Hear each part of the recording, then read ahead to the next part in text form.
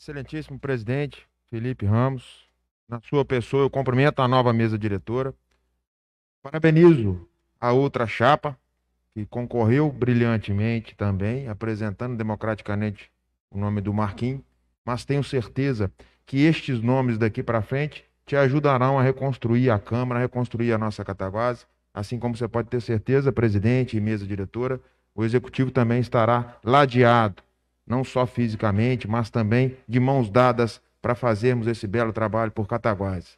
Parabenizo o trabalho do presidente anterior, vereador Ricardo Geraldo Dias, pelo excelente trabalho feito em devolução também de verbas ao executivo. Tenho certeza que, pelo momento, Vossa Excelência também trará os mesmos princípios e atenderá não só ao executivo, mas ao povo cataguasense.